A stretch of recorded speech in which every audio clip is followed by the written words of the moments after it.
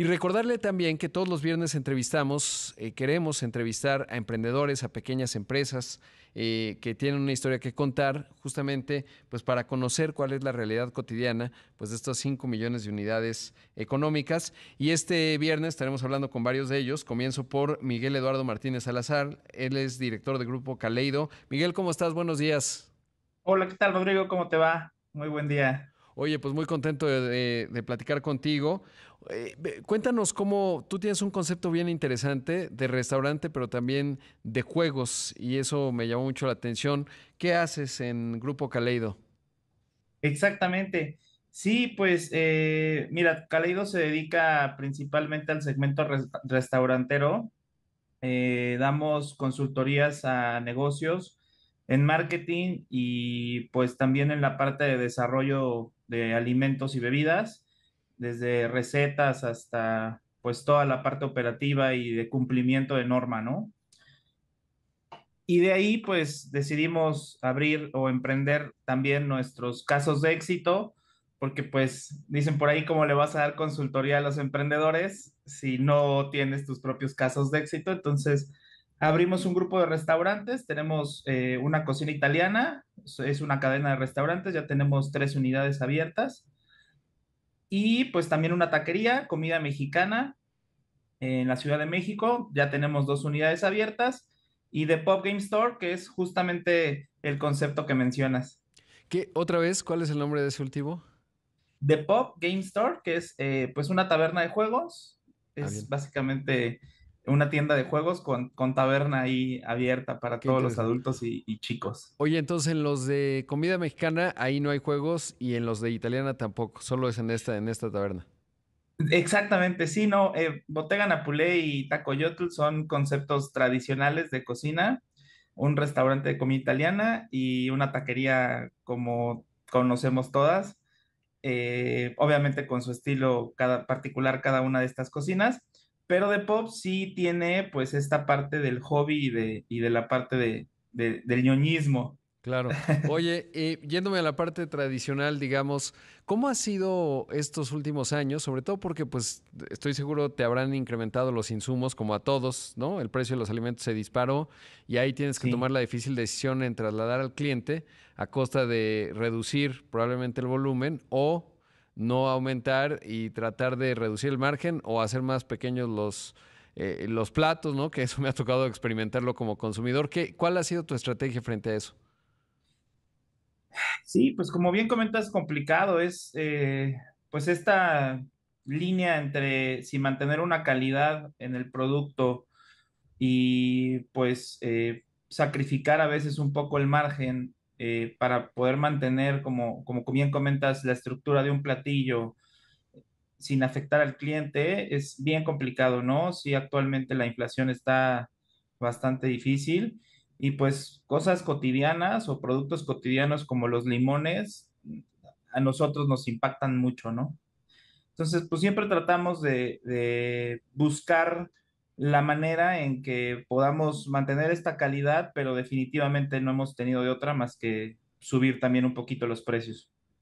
Oye, y en la parte no tan tradicional que es la de los juegos, eh, ¿qué juegos, qué tipo de juegos tienes en, la taberna y qué tipo de alimentos o, cómo ocurre? ¿Es al estilo casino en donde te venden cócteles, te relajas, apuestas más, etcétera? Acá no es de apuestas obviamente porque se requiere una licencia, pero ¿qué, juegos son los que tienes y, cómo ocurre? No, es solamente lúdico, es, es dedicado pues hay de todo tipos de juegos. Tenemos eh, de tarjetas coleccionables e intercambiables, que son los juegos de TCG, como Pokémon, que de hecho tengo aquí atrásito algunas muestras de, de, pues el juego de cartas coleccionadas de Pokémon o Magic.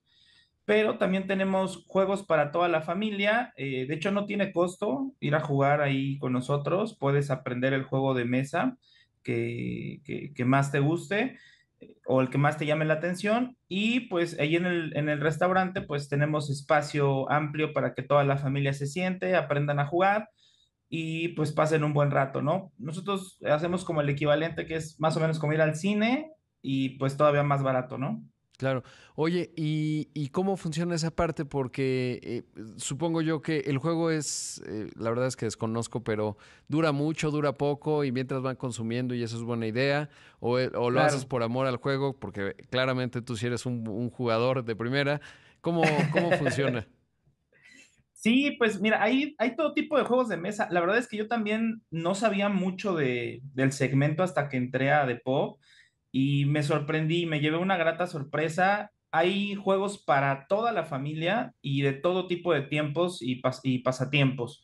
Hay, juegos rápidos en donde cada partida puede jugar 10 minutos y que son incluso hasta de destreza eh, mental, de, agilidad, de, de, convivir un poquito con la familia, que también siento que esta parte se ha perdido mucho, ¿no? De repente ya nos cuesta mucho trabajo convivir con nuestros hijos o pues pasar tiempo de calidad, sobre todo cuando están en esta etapa ya de la adolescencia, no encontramos qué hacer con ellos.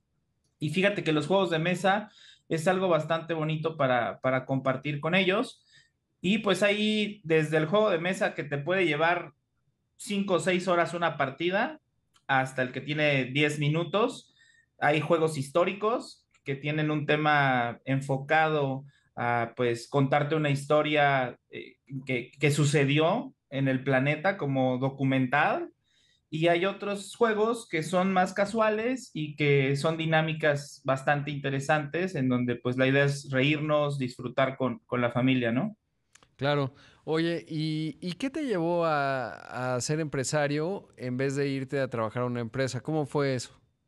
Pues la locura, la locura, yo creo. Exacto. no, pues eh, fíjate que trabajé mucho tiempo en, el sistema financiero, trabajé para Bancomer y Santander, y ellos tienen unos esquemas de incentivos y motivación bastante agresivos. Entonces, pues ellos me enseñaron todo lo que sé ahora y pues conociendo a muchos clientes, ¿no? Cuando yo trabajaba eh, para Bancomer, atendía a clientes que tenían sus propias empresas, que tenían sus propios restaurantes, y pues yo creo que de ahí me surgió el, amor a poner mi propio restaurante y pues ahora ya son varios. No, pues qué bien, la verdad es que eh, qué gusto platicar contigo, Miguel, y sobre todo pues que vas explorando nuevos conceptos y además pues no solo eso, sobreviviendo, porque vino la pandemia y tener restaurantes en el contexto 2020-21 no habrá sido sencillo. Y bueno, pues eso requiere mucha persistencia, resistencia y todo lo demás. Y sobre todo generar empleos, ¿no? Que eso también es bien importante para un país como este. Miguel, se me acaba el tiempo, pero te agradezco mucho la entrevista y mucho éxito. Gracias a ti, Rodrigo, por darnos el espacio y pues saluda a todo tu auditorio. Muchas gracias. Ahí escuchamos a Miguel Eduardo Martínez Salazar, director del grupo Caleido. Eh, recordarle que nos puede escribir para que esté aquí en el programa. El correo es eh, emprendedores rodpack, así como lo escucha, rodpack de Rodrigo Pacheco, emprendedores gmail.com. Mándenos un correo y espero escucharlo por aquí en estos micrófonos pronto.